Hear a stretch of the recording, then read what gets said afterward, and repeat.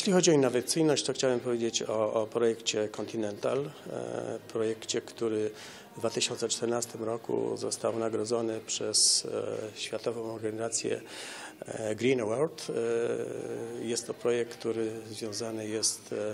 z przygotowywaniem tak naprawdę, bo technologię już mamy, ale jeszcze nie ma seryjnej produkcji, przygotowywaniem infrastruktury badawczo-rozwojowej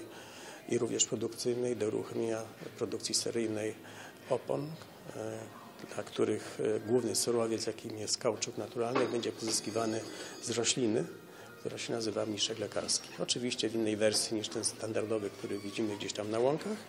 ale e, z jego wersji zwanej może troszkę nieładnie gumodajną, e, lepszą wersją, która a, zawiera dużo więcej składnika w postaci kauczuku. To nie jest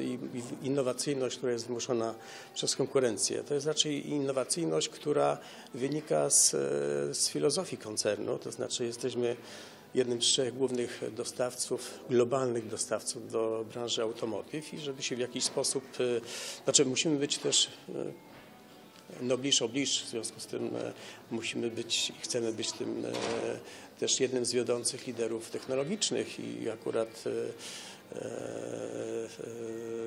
no, inżynierowie Continental wpadli na taki pomysł, że można uzyskać kauczuk również z rośliny, nie tylko z drzewa kauczukowego. Na pewno Continental jest innowacyjną, jeżeli chodzi o naszą ofertę innowacyjności dla transportu, dla firm transportowych. Są to głównie nasza sieć Conti 360, która powoduje, że zdejmujemy z głowy naszym partnerom biznes oponiarski, my go przejmujemy w całości,